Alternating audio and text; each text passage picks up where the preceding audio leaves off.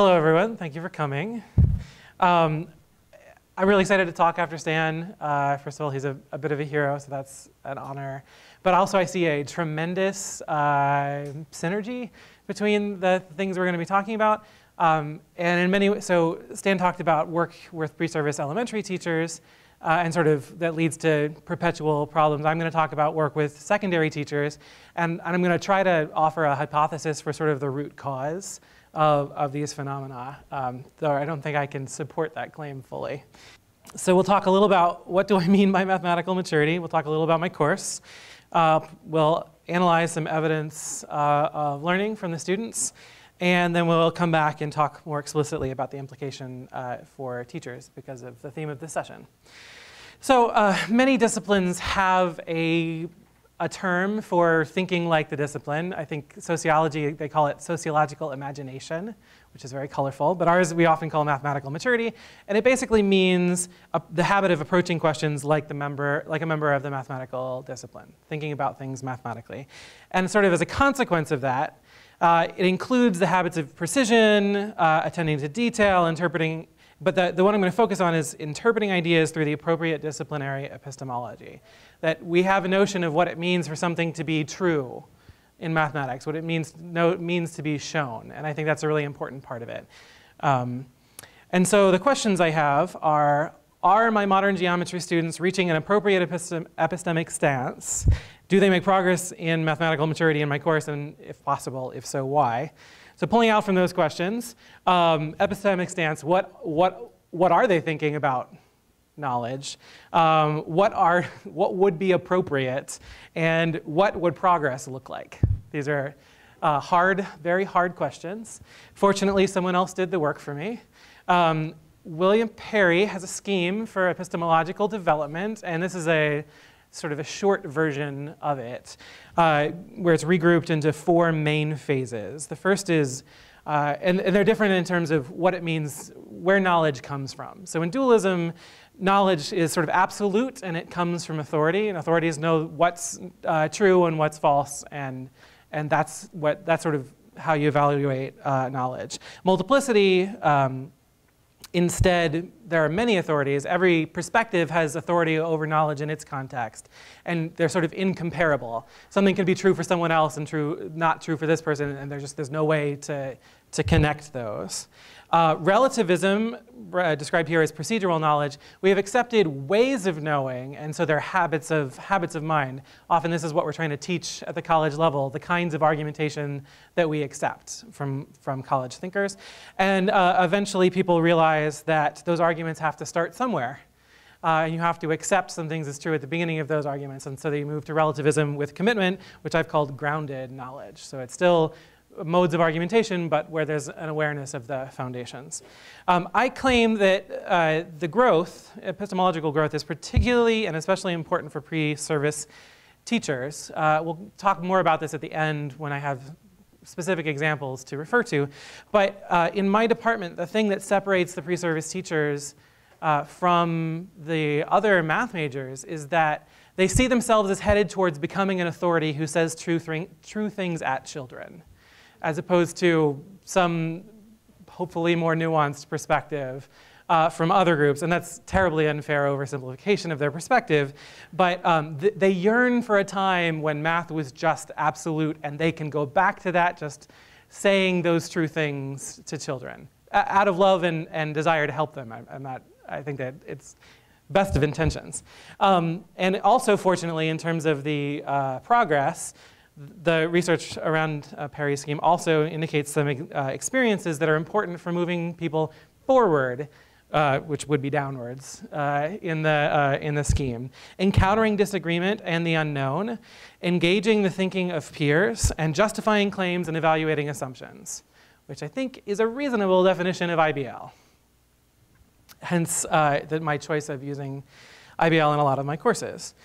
Um, so I'm talking about a modern geometry course. Geometry is an interesting position in our curriculum. In many ways, geometry purports to be talking about the universe, about the physical world, so it feels very absolute, like things could just be true, because we're talking about an object. But Um, these students in, at our institution, it, they're usually the end of their junior year. Many of them, it's their last proof-based math course. They've taken Intro to Proof, a proof-based linear, abstract, and real. So this is, a, this is like, they really understand when we say math, we mean you're going to prove things. Um, so it's somewhere between procedural, the relativist, and uh, dualist, the sort of absolute knowledge.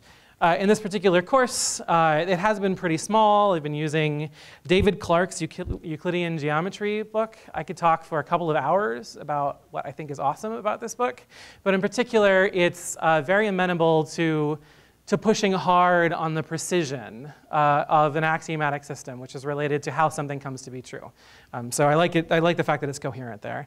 The basic course outline for what I do, um, the people who know me well know that uh, like I, this is another five hours worth of things I could talk about. But um, the first seven weeks we do Euclidean geometry, IBL.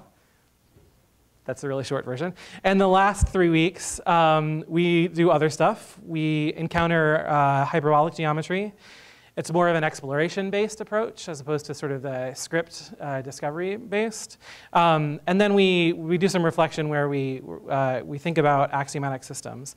Um, along the lines of things I said before, the IBL has a strong uh, emphasis on oral communication, and I want to balance that with writing. I want the students to evaluate the arguments. This is one of the three experiences. I want to evaluate a lot of arguments. I want them to see the thinking of their peers. And so I pair this work with uh, an, act an, activity that I call uh, a wiki textbook, in which they take David's skeleton of a textbook that has theorems and questions and transform it into a textbook filled with content. Um, and several of them have said that they intend to use this as a textbook in their future uh, high school classes, so that's, that's pretty awesome. Um, okay, so onwards to some evidence, uh, and we're looking for the epistemological, what it means to be true, what is known kinds of themes. So there's a slightly odd image on this page. At, the, at, this point, when we're proving this theorem, our definition of a right angle is an angle that is congruent to its supplement. We don't know anything about measure of angles at this time. And um, so we're trying to prove that an angle that is congruent to a right angle is also a right angle. Um, a, so we're given uh, that A and B are the congruent angles and that A is right. So you can see A is congruent to C here with the green swoops, and that A is congruent to B. But B and D are drawn somewhat oddly, yes, given that, A, that B is going to end up being a right angle. And, um, it, and, it, and it, this, they're drawn in GeoGebra. And it takes some work to draw the picture this way as opposed to drawing it like a right angle. So the student has decided, I am specifically communicating with this picture that I do not yet know that D is congruent to B. The sort of like, sometimes I've heard of this described as the, the art of drawing figures so that you don't assume the thing that you're trying to prove. Um, so I think this is a really interesting example uh, of this. Um, but to some extent, I can hear my own voice coming through in these actions, things that I've sort of suggested and, and pushed them on. Um, so moving from something that an individual student wrote to something that the, the class as a whole wrote, this comes from the foreword uh, of, the, of the wiki textbook. This is um, most of the, for, well, not most, it's about a third of the foreword.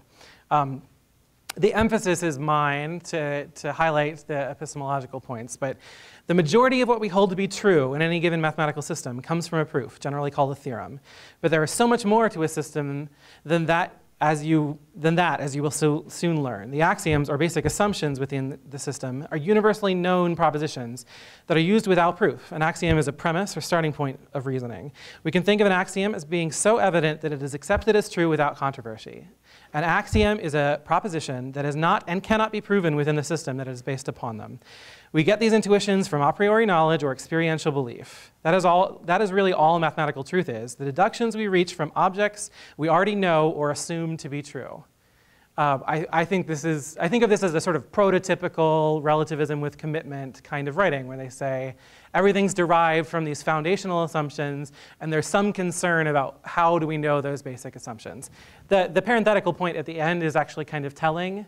Um, many of them loved Kant's synthetic a priori truths, in which just we could just start to know things to be true about the world, and so that the axioms could be true in some some real absolute sense, and the rest of them were fine, uh, like I am, with a more relative uh, notion of the truth. So that's what the know or assume represents. So um, I think this is really nice. These are both uh, end products to show that they got to something that I think is an interesting perspective on how we, what we know at a given time. Um, one of the other things I did was a comparative uh, piece of data. I, I, they built some concept maps on the first day of class and on the last day of class about the nature of mathematical truth. Um, if you can't tell, I really like this stuff, and um, we, yeah, so we did it. Um, so I want to show you uh, a pre and a post for one particular student. Can you guys see that? Yeah, that looks good. Um, so this is a pretty procedural one. Mathematical truth introduces undefined terms, definitions, and examples, which provide intuitions, decidability, logic that are needed uh, for construction. Uh, they're needed to test, um, which articulates contradiction. They're needed for evaluation, which shows consistency, which cre creates deduction. I don't understand that one. Producing theorems, lemmas, and axioms. Um, so there's a couple of worrisome things here. Um, it, I mean, it's not unreasonable description uh, from some perspectives, but uh, the one that worries me the most is that axioms are the same as theorems and lemmas. They're products as opposed to uh, inputs, right? There's, there's no differentiation between them. And this was a common theme. Um, now let's look at this student's post. So mathematical truth. First we have ideas. From these we assume definitions, intuitions, and axioms. And through logic, rigor, and, rigor, and persistence, we can use constructions and examples to make conjectures that uh, then we can apply a type of evaluation where we use deduction, contradiction, and decidability, only to find out that we still have undefined terms. So we test, yet again, and look for consistency uh, in our results. And if this is true, we have found theorems, corollaries, lemmas, and then we have proof that there is such a thing as a mathematical truth. Um, I think this is a beautiful description of the process of creating mathematics. Um, and it, and she's, it's the same student. She's fixed the issue with lemma, with uh, axioms, right? At the very beginning, she says we choose definitions and axioms. So she understands um, so this is a, this is a pre-post change. You can see that some, her understanding of those terms is actually different than it was before. And they'd heard the word axiom before in real analysis, so it wasn't, it wasn't, a, it wasn't a new term. Um, heading back to uh, PowerPoint, or Beamer, uh, the students uh, compared their pre-posts and told me what they thought was different. They thought there were more detailed connections, more connections themselves, and more complexity. Uh, they, they noticed that they distinguished between terms, so they noticed this phenomenon that I was worried about, uh, and that they noticed it was sort of more process-oriented or procedural, sort of about the nature of mathematics, uh, producing mathematics. And some of them noted how it became cyclic, how at the end it would sort of wrap back around and you'd start the process over, um, which is a nice way for them to think about how mathematics is produced. From my perspective, uh, the big things were the location of axioms and definitions, that they, in the end, they were appropriate as opposed to axioms being this, a kind of theorem. Um, in the pre, there were a small number of right or wrong uh, arrows and many odd or vague ones that I didn't know how to interpret. And in the post, there were many right, many that made total sense, um, and seemed appropriate, and a small number of right and wrong uh, items.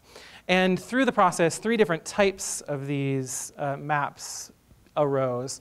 This, I, have labeled them psychological, procedural, and epistemological. The psychological ones had to do with uh, how one comes to believe mathematics or how one comes to learn mathematics, sort of the individual uh, mind. Uh, procedural is how mathematics is produced.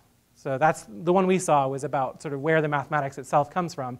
And then the third kind was the epistemological one, um, given the mathematics, how it comes to be true. Uh, but it turns out that they were all basically the same, that in some form, uh, axioms and definitions eventually power their way through to theorems. They're all basically the same, but there are three different uh, ways of focusing um, on this question, which I think is interesting.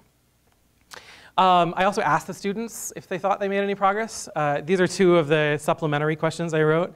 Um, developing a clear uh, understanding of and commitment to the axiomatic method in mathematics as well as, as its limitations, and developing an, a nuanced understanding of the nature of mathematical truth. These are very abstract and very specific uh, learning outcomes, and they claimed uh, basically a four out of five, which represents substantial progress uh, on these items. So they believe that they made some progress in terms of their understanding of the nature of mathematical truth.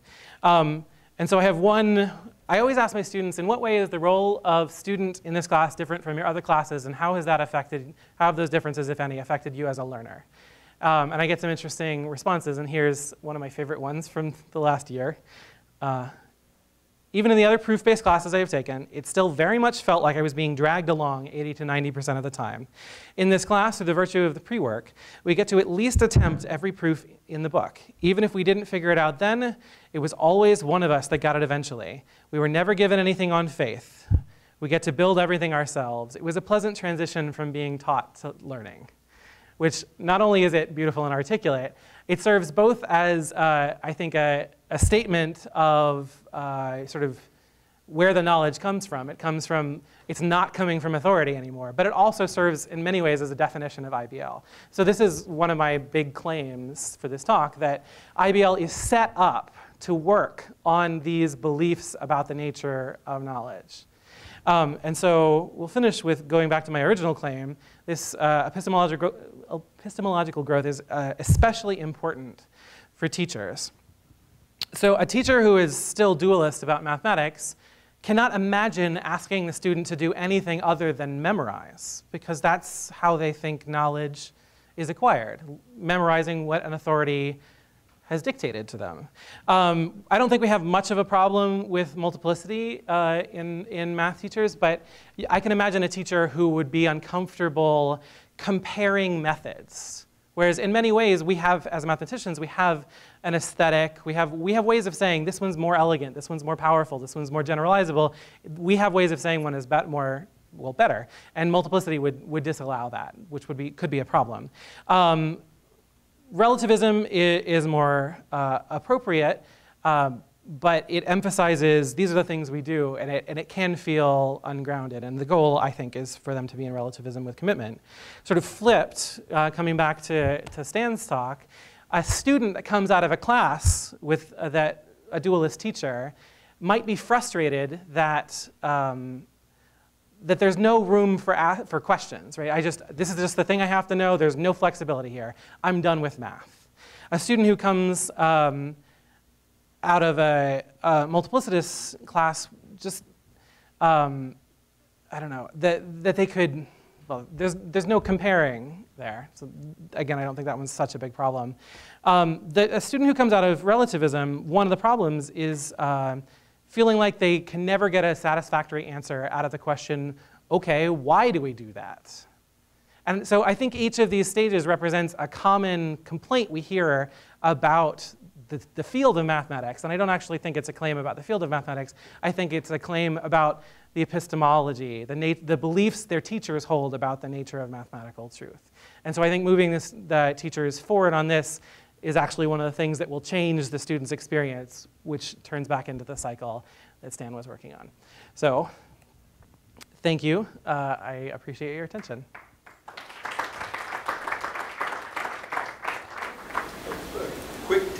Question on the hyperbolic geometry. Uh -huh. You have a, a nice model that you use of either Poincare disk or half plane in GeoGebra? Yeah, so we use GeoGebra for the, uh, um, the Euclidean geometry. So they're used to ruler and compass on a, on a computer. And then I give them, it's a Java applet, non-Euclid. Okay. Um, and it's, and it's harder, it's much less user-friendly, but after being sort of experts in GeoGebra, they can handle, uh, they can handle There are GeoGebra Poincare disk models, but oh. they're not very nice. Okay. So that's why.